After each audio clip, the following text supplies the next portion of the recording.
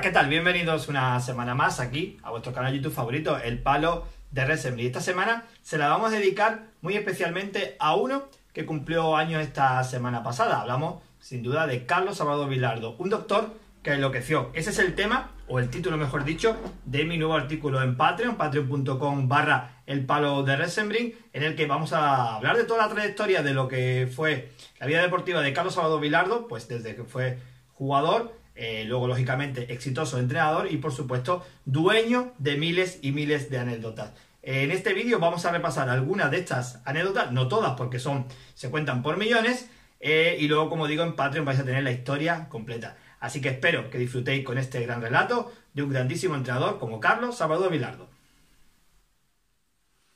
Bueno, y las dos primeras historias ciertamente están relacionadas, ya sabéis que, bueno, pues que Vilardo fue un exitoso entrenador en, clubes, tanto en Colombia con Deportivo Cali como en Argentina, en San Lorenzo, sobre todo en, en Estudiante de La Plata. Pero sí por algo le conocemos por su periplo en la selección. Una vez eh, consumado el fracaso del Mundial de España 82, pues Bilardo se hace cargo de la selección, pues hasta desde el 83, pues hasta el Mundial de Italia 90. Ahí vamos a tener miles y miles de anécdotas que contar. Yo, de hecho, para el artículo Patreon, pues he seleccionado ni más ni menos que 10, pero podríamos haberla ampliado a 1000. Eh, yo he seleccionado 4 en este primer bloque, vamos a contar dos de ellas, eh, que están relacionadas con el Mundial icónico de México 86. Y es que a ese Mundial, pues eh, Argentina, sobre todo con Bilardo, pues iba a emplear una táctica nunca antes vista, ya que lo habitual en Argentina era jugar con defensa de 4, dos laterales y dos centrales, bien en modo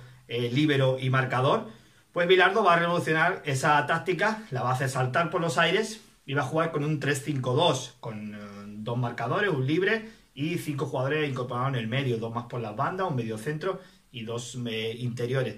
Ese sistema tan revolucionario para el fútbol argentino, pues causó furor, causó también muchas críticas.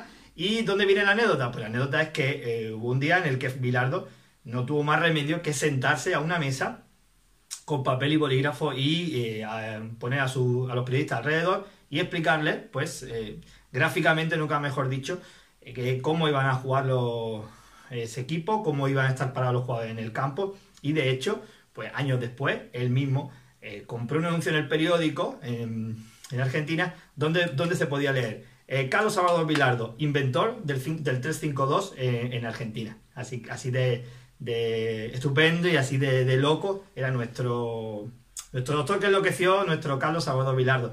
Y otra de las anécdotas, para mí una de las más grandes, de las que a mí me, ha impactado en mi, en mi conocimiento, en mi investigación sobre el gran entrenador argentino, es que tras la final, la mítica final 3-2 contra Alemania Federal, con aquel gol de Burruchaga en el último minuto, y, bueno, y toda la mística que trae la actuación de Diego Armando Maradona, pues bueno, eh, os podéis imaginar cómo era el festejo en, el vestuario albiceleste, ¿no? Todo, todo cántico, todo, todo, todo grito, eh, bañados todos en agua. De repente, eh, alguien echa en falta a, a Bilardo, no, no, sabemos dónde está, y lo buscan y no, no, lo encuentran por ningún lado.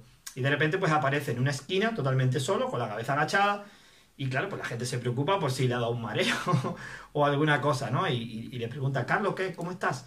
Y él le dice, no, no, tranquilo, tranquilo. me dice, pero ¿por qué no, no festejas?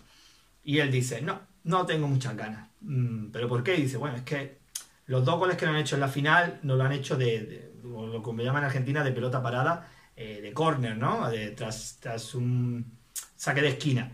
Y bueno, él estaba tan molesto por esa circunstancia, porque bueno, era un obseso auténtico de la, del entrenamiento y de, y de, la estrategia, que decía que no tenía ganas de, festejar. Y dijo una frase como, bueno, ya habrá otra ocasión, ¿no? Por desgracia no, no hubo, si hubo otra final más para Argentina cuatro años después, pero en este caso Alemania le, superó. Luego con el tiempo él contó que, se arrepintió de eso, que le hubiera gustado hacerse una fotito con la, con la Copa del Mundo, por, también cuenta que, la medalla, su medalla de campeón la regaló, no sabe a quién. Y, bueno, son ese tipo de anécdotas que te hacen eh, ver a Bilardo como un ser bastante entrañable y bueno, un poco también loco entre comillas de lo que es el, fútbol. En el próximo bloque vamos a conocer dos anécdotas más del gran Carlos Salvador Vilardo. Bueno, y vamos a avanzar un poquito más en el tiempo. De, todas las anécdotas de Bilardo, he seleccionado para vosotros aquí en nuestro canal YouTube, en el Padre de dos que, bueno, dos bastante graciosas y algunas de ellas muy conocidas. Eh, nos vamos cuatro años adelante en el tiempo, estamos en el Mundial de Italia 90. Eh, y bueno, vamos a tener ese partido en octavo de final, ese Brasil-Argentina, el clásico de Sudamérica, que se daba pues demasiado pronto en el torneo, ya que Argentina en la primera fase pues eh, había casi deambulado por el torneo y estuvo muy cerca de quedar eliminado. en octavo de final pues vemos una Brasil tremenda, con ese, ese tridente mágico arriba, con, con Müller, con Careca, con Baldo y una Argentina que, prácticamente está totalmente desarbolada, ¿no? Y bueno, el partido va, avanzando. Eh, sin embargo, eh, se repara en que, bueno, hay uno de los jugadores brasileños que tiene ciertos problemas de mareos. Eh, hablamos lógicamente de Branco, ¿no? Lo que se ha conocido popularmente como el bidón de Branco. es una historia que nunca aclarada, en la que supuestamente cada vez que un jugador argentino caía lesionado, pues salía el masajista, Galíndez, y con dos bidones de agua diferentes, ¿no?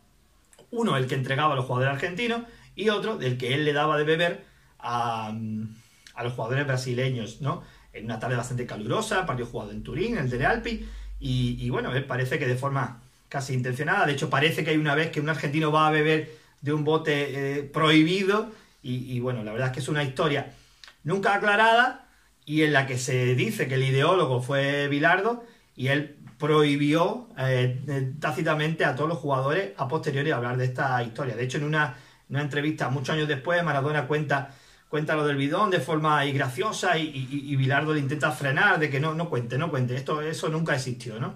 Y ahí ha quedado un poco esa mística del, bidón de, de, Branco. Seguro que vosotros sabéis más cosas alrededor de esta anécdota porque es muy, muy conocida y bueno, yo creo que es algo que más o menos está en la sabiduría popular de lo que es el fútbol de selecciones. Y la otra anécdota, yo creo que es también súper conocida. La verdad es que he escogido en este bloque quizás las dos más icónicas porque creo que era buena traerlas al recuerdo. Todos conoceremos, sin duda, o nos acordamos del pisarlo, pisarlo, eh, que luego también va a generar otra anécdota graciosa en un partido del, Zaragoza. Pero bueno, en este caso hablamos pues de la temporada en la que estuvo Bilardo al mando del Sevilla, la 91-92, con Maradona jugando eh, también aquí en España. Y bueno, un partido contra el Deport, en el que Maradona de forma, creo que accidental, eh, golpea la, la cara de Albistegui, el central del Deport. Y bueno, pues lógicamente la, sangre pues sale a, borbotones, ¿no? Se para el juego y bueno, sale el, ya conocidísimo Domingo, ¿no? El, el fisio de, del Sevilla y en vez de atender a Maradona, que también cae golpeado en el suelo, pues se va a atender la, la, urgencia más grande, que era pues la sangre que le brotaba al Bistegui de la, de la nariz, ¿no?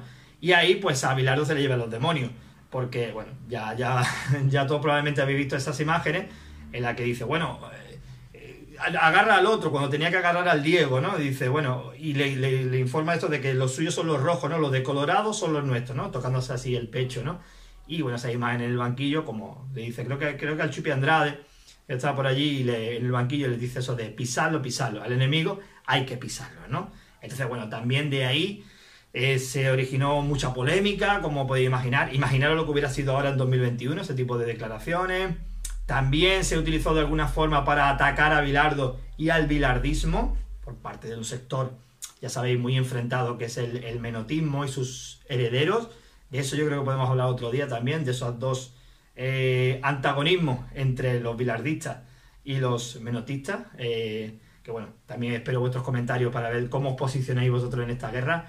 Yo mi conclusión es que debemos disfrutar del fútbol y también siempre pienso una cosa, es que eh, al fútbol se juega de muchas formas y al triunfo se accede de muchas maneras. la paradoja más grande, evidentemente, es que tanto Menotti como Bilardo eh, en sus estilos, cada uno de ellos ha sido campeón del mundo en una ocasión, o que, por ejemplo, otros antagonismos, como son los de Guardiola y Mourinho, es como Bilardo y Menotti del siglo XXI, pues ambos, por ejemplo, tienen dos champions, con lo cual, oye, empate técnico entre las dos grandes escuelas, tanto del fútbol europeo como mundial, así que bueno, cada uno tendrá sus gustos, sus preferencias, y lo que tenemos que hacer es disfrutar del fútbol.